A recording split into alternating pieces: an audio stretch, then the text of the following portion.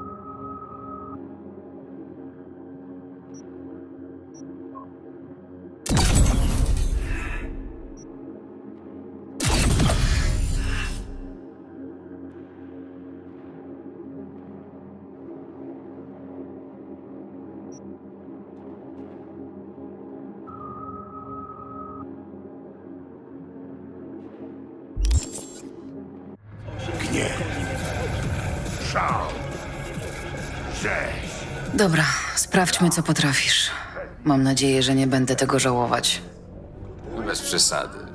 Najwyżej wrócisz i poprawimy.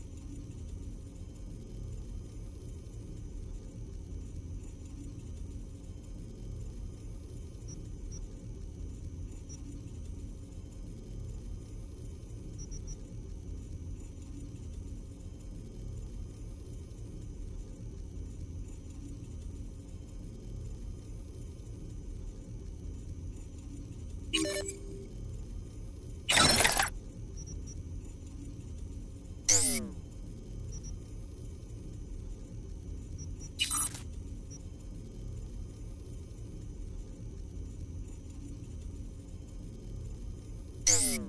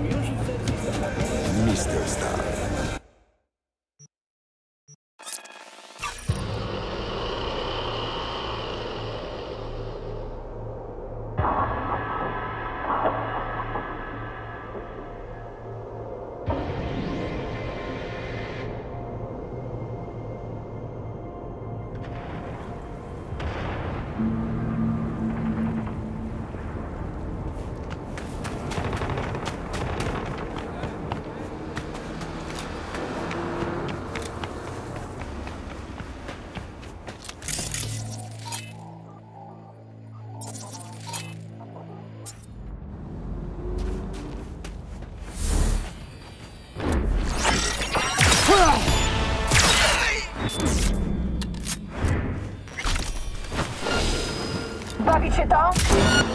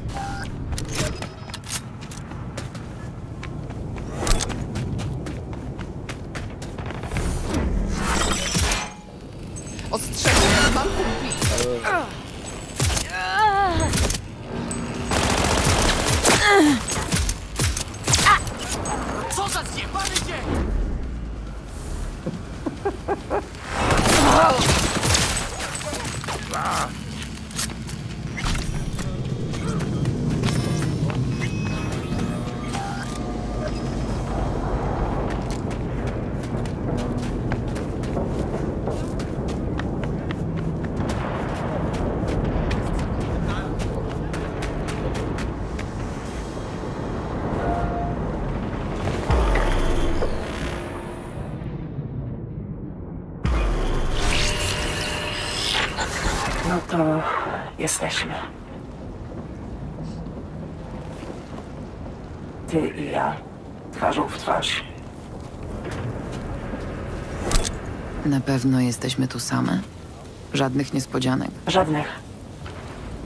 Ale widzę, że jesteś już jedną z nas. Nie ufasz nikomu. To miejsce nie wygląda na przypadkowe. Nie jest. Chciałam ci pokazać, bo jest dla mnie ważne. I pomoże ci zrozumieć kilka rzeczy. Wi, chcę pokazać, że ci ufam. Chodź ze mną.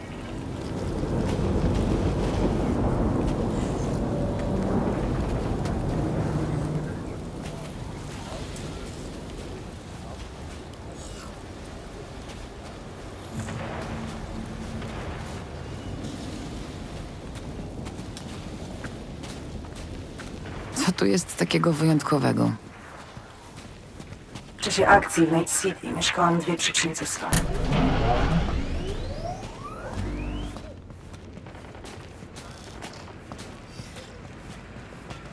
Lokalsi często przychodzą tutaj wieczorami.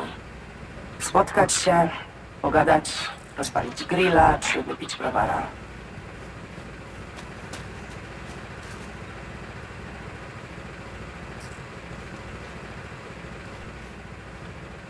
Kiedy pracowałam w Night City. Czasami tu przychodziłam. To wszystko jest wyjątkowe, bo przypominało mi Brooklyn. Mój prawdziwy dom. Opowiesz mi, jak było w Brooklynie? Mam takie wspomnienie. Wieczór przed moim atakiem na fortecę militarną. Siedziałam na schodach przeciwpożarowych i paliłam jointa. Na ulicy akurat zaczynała się impreza. Pamiętam śmiech ludzi i funk grający z wielkich głośników rozstawionych przez kogoś na ulicy. W tle krzyku jego, sprzedającego najlepsze hot dogi w okolicy. Zapach dymu. Znajomy, bezpieczny. Ten dzień to było jakieś święto? Tak, czwartek.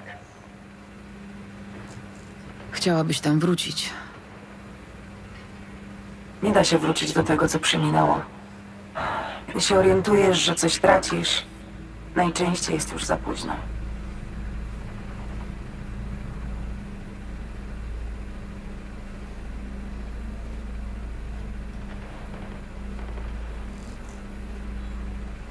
Wiem, że to ty pomogłaś Hansenowi zorganizować zamach na Myers. Taka była jego cena za zdobycie matrycy neuralnej.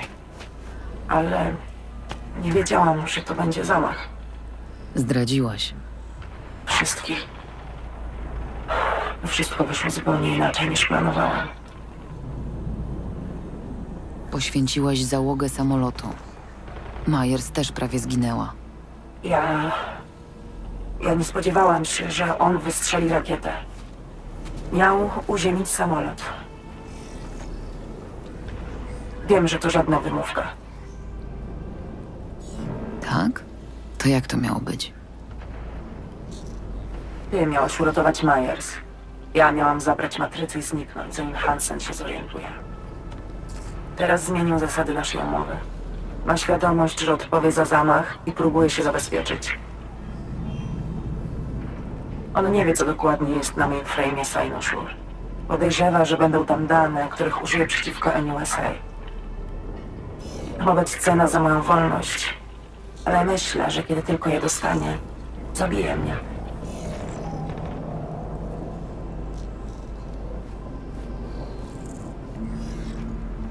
Spieprzyłam to ale nie miałam wyboru.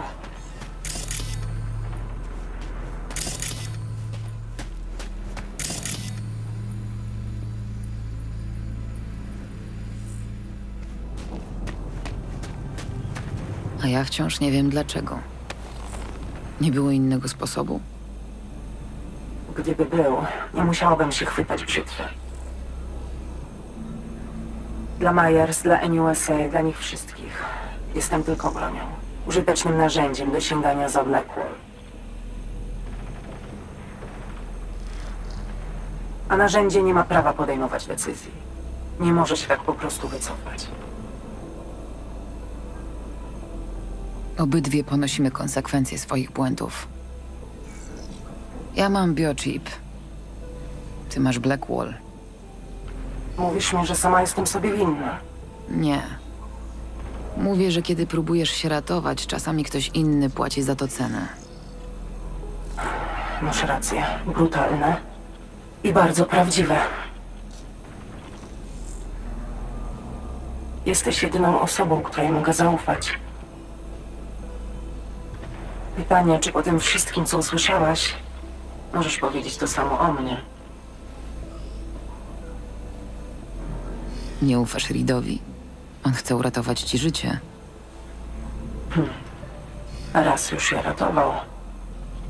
Po nieudanym skoku na Militech pojawił się w mieszkaniu dziewiętnastoletniej dziewczyny z propozycją nie do odrzucenia. Służba w wywiadzie albo czapa od Netwatchu. Ta dziewczyna wtedy umarła, Wi. Wszystko, co widzisz, to konsekwencja tamtego dnia. A Reed... Reed również umarł siedem lat temu. W NUSA wydano na niego wyrok śmierci, a on dalej im służy. Kurczowo trzyma się czegoś, co dla mnie już nie istnieje. Nigdy cię o to nie spytałam. Co dokładnie się z tobą dzieje po kontakcie z Blackwallem?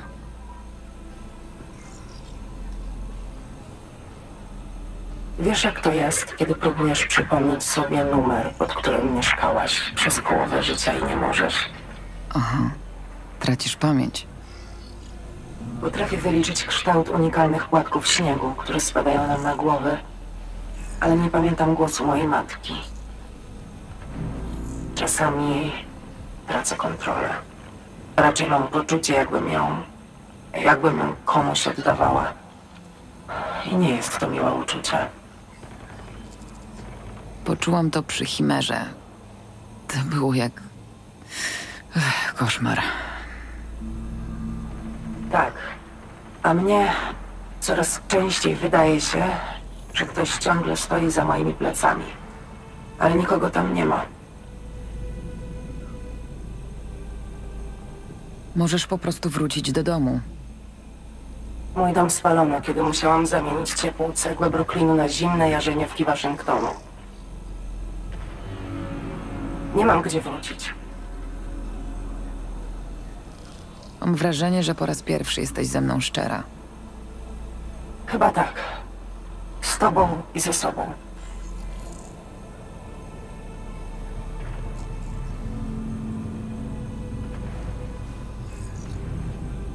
Muszę uciec. Od Hansena, od NUSA, od Rida. Od tego wszystkiego. Swoją drogą, ze wszystkich ludzi wybrałaś sobie na sojusznika akurat Hansena.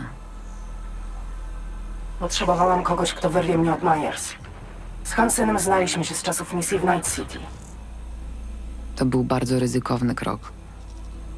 Żeby nie powiedzieć głupi. Dlatego znalazłam też ciebie. Night City to tylko punkt przesiadkowy w czasie ucieczki. Taki był plan od samego początku. Dokładnie.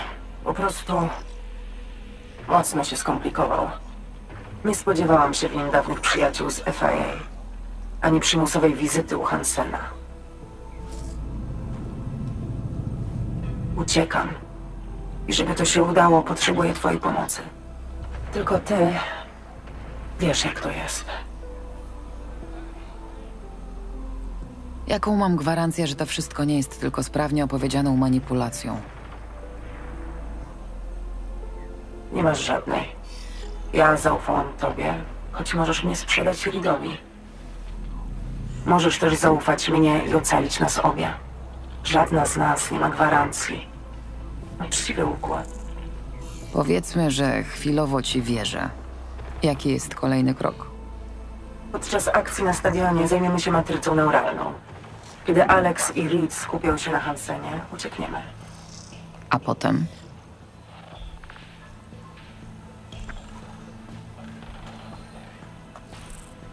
No, Pomożesz mi opuścić miasto. Mam nagraną czarną klinikę, daleko poza Night City. Reaperzy stamtąd otworzą matrycę i użyją algorytmu do stworzenia próbnej wersji naszego lekarstwa. Potrzebują mnie do przeprowadzenia testów, ale gdy tylko skończą, natychmiast dam ci znać.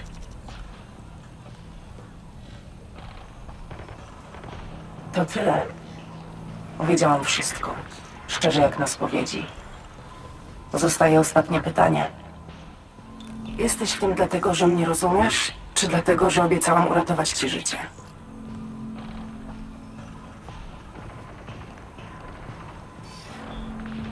Właściwie to ci nie ufam. Ale zakładam, że ryzyko jest warte potencjalnej nagrody. Wbrew pozorom bardzo sobie cenię taką szczerość. I rozumiem cię. To już wszystko. Możesz zadzwonić do Rida i powiedzieć mu, że jesteśmy gotowi na spotkanie z Hansenem.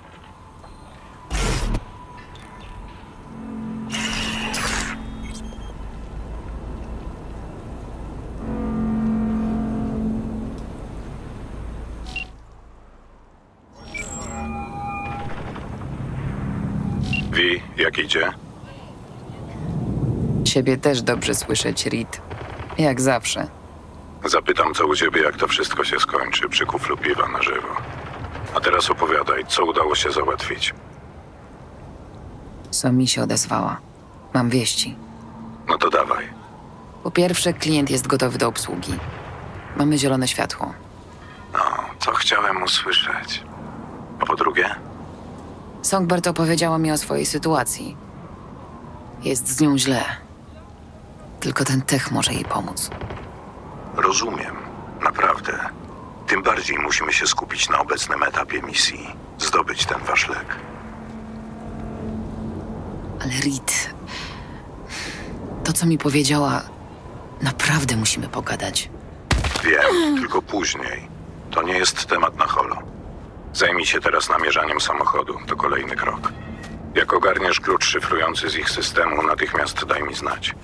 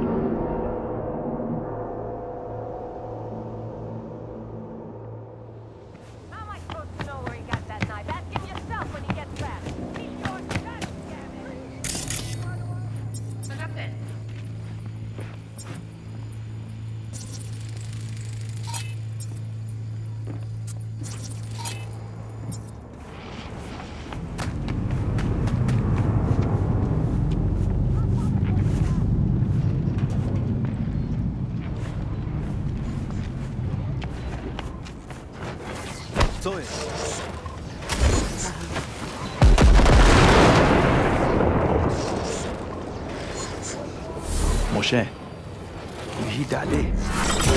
Oh, oh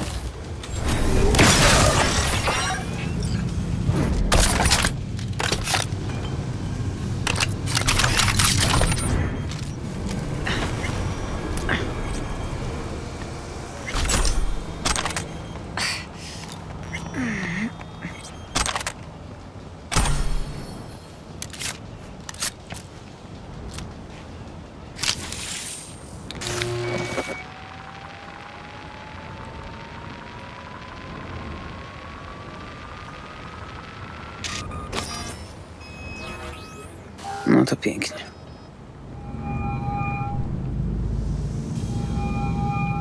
Alex, mamy problem.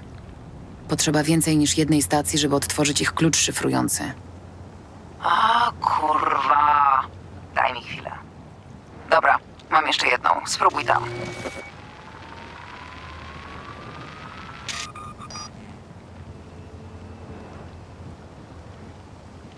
Myślisz, że ta druga nam wystarczy? Firma wypożyczająca samochody, a nie bank. Jak skomplikowany może być ten ich system? No to do roboty. Powodzenia. Jak uda ci się zdobyć pełen klucz szyfrujący, dzwoń od razu do Rida.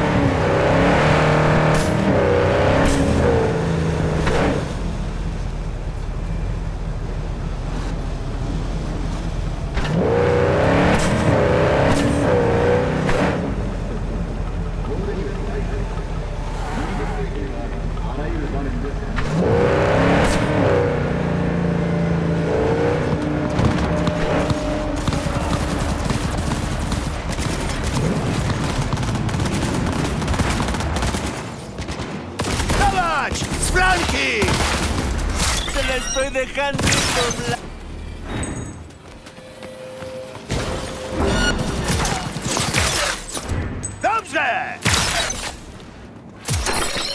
¡Carajo!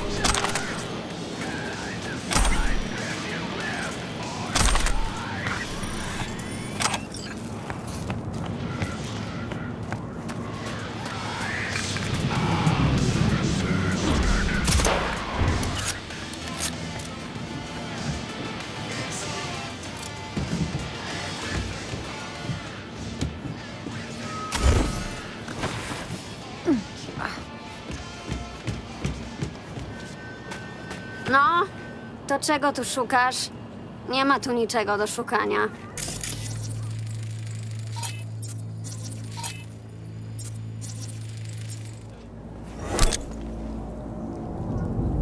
To twoja matka?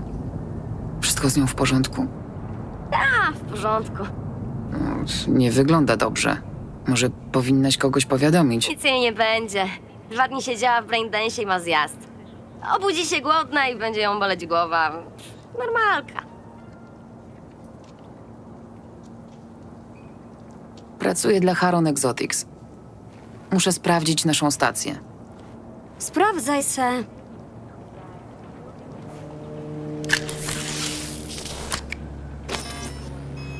Rozwalona.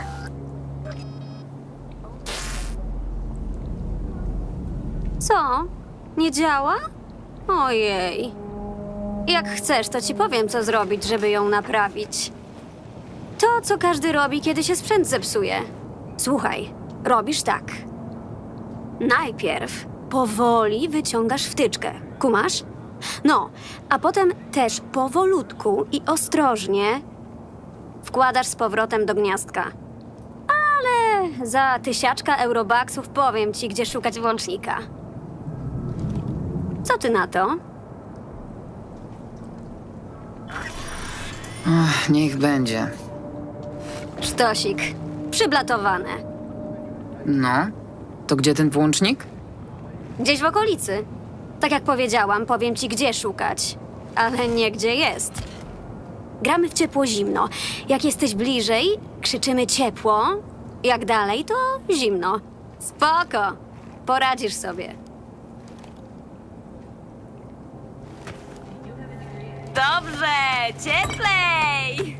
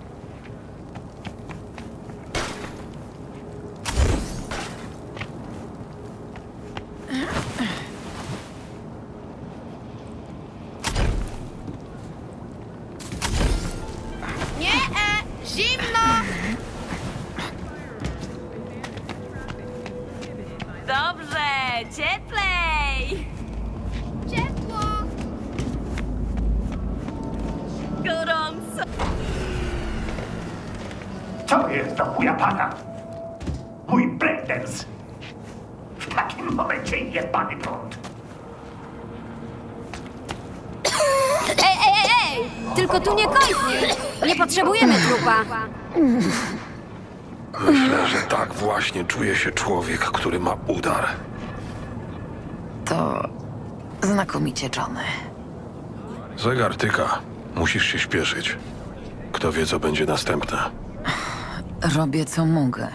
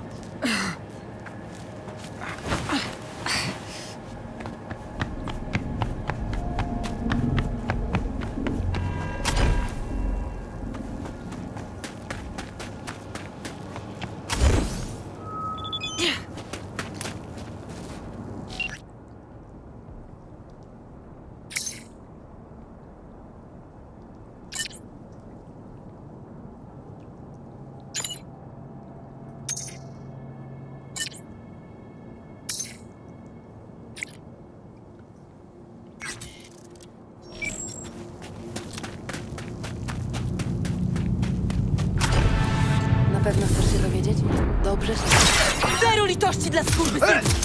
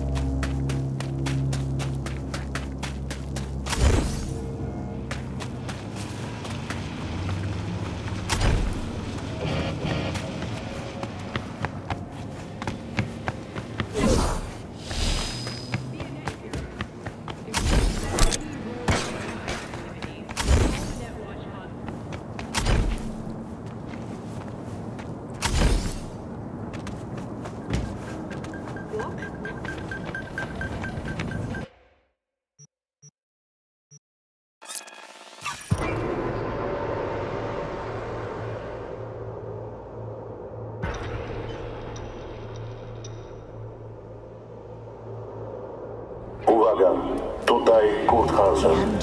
Jedyny napój o smaku. Mam dobre wieści. Pewna prezydentka odnalazła się cała i zdrowa. Jest w Waszyngtonie. Od początku. O, jesteś. Fajnie. Właściwie to zaczęłam bez ciebie. Drink na uspokojenie nerwów. Zaskoczyłaś mnie tym zaproszeniem. Naprawdę? Mhm. Nie wiedziałam, co tu zastanę. Ale muszę przyznać, jest przyjemnie.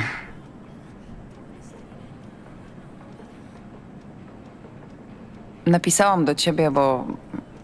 bo chciałam pogadać z kimś, kto nie jest częścią firmy. I nie chciałam, żeby to był ktoś obcy. Na moment zapomnieć o robocie i na moment nie udawać. Mam nadzieję, że to ma sens.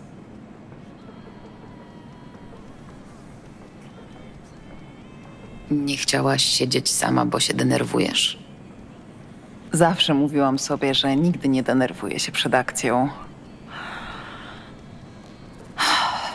Ale od pewnego czasu pracuję nad tym, żeby się nie okłamywać. Chyba po prostu chciałam przez chwilę być człowiekiem. Dziewczyną, która ma na imię Alex. I tyle.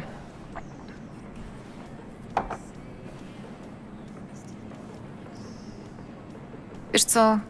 Też to lubię. Zostawić za drzwiami etykietkę najemniczki z Night City.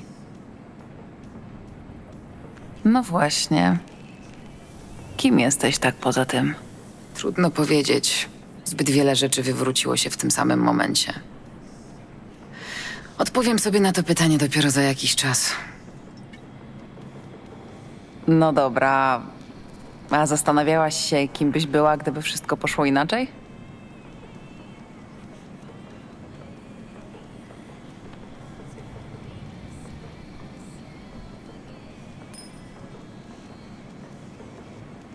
Kontrwywiad Arasaki. Na miejscu mojego dawnego szefa, który na pewno byłby już dawno martwy. Narożne biuro, widok na Corpo Plaza i poczucie, że to wszystko właściwie jest twoje, skoro masz nad tym kontrolę. Uch, obrzydliwe. Ty?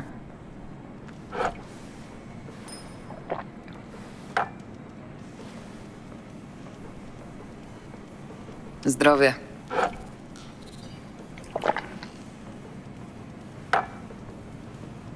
Dobra, teraz ty.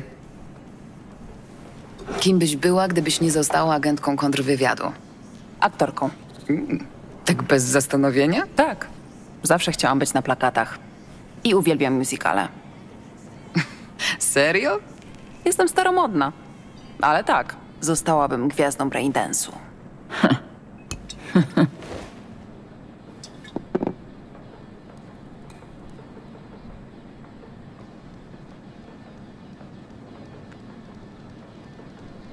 Masz jakąś rolę marzeń? Norma Desmond z bulwaru zachodzącego słońca. Na pewno tego nie znasz. To prawda, nie znam. To bardzo stary film, nie przejmuj się. Lubię postacie tragiczne, a z nią mam chyba kilka punktów stycznych. Też nigdy nie wiem, kiedy trzeba już odpuścić.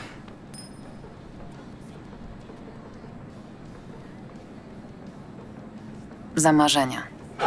Bo trzymają nas przy zdrowych zmysłach. Tak jest.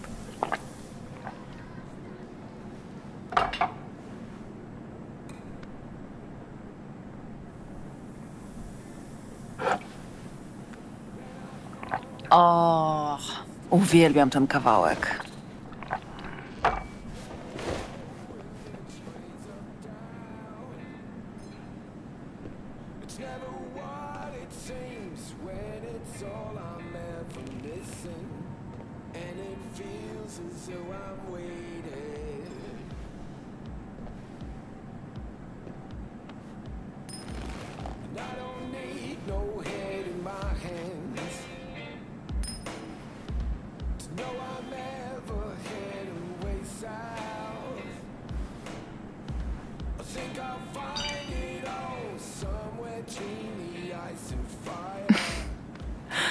robisz tego za często, co?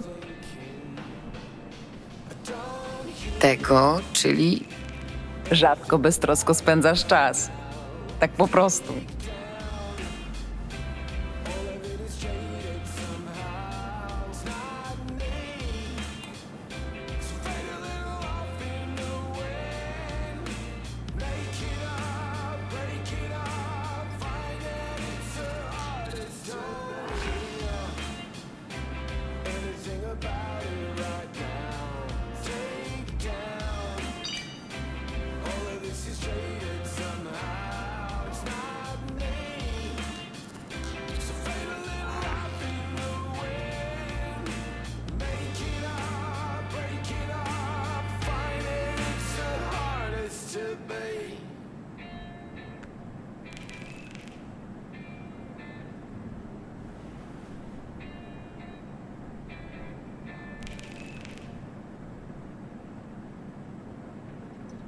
Zostaniesz tą aktorką.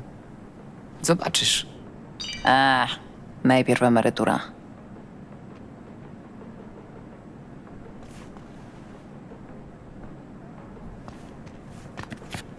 Do zobaczenia, Vi.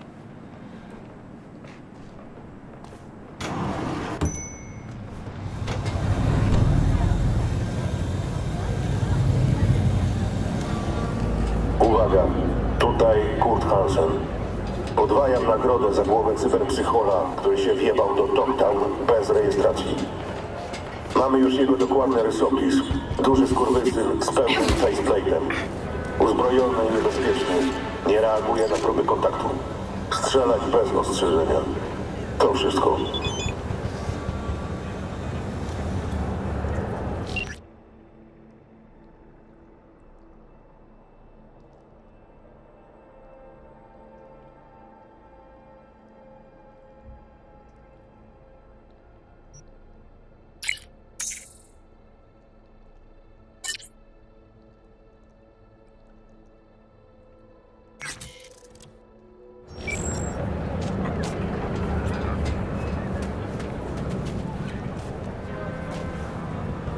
Czegoś?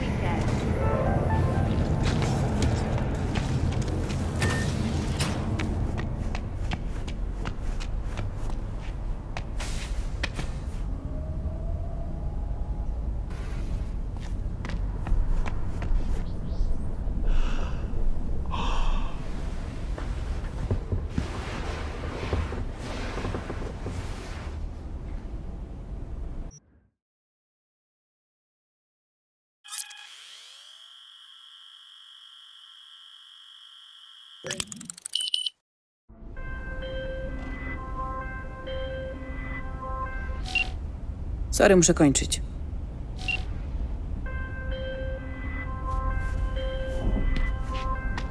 Okej, no i co dalej?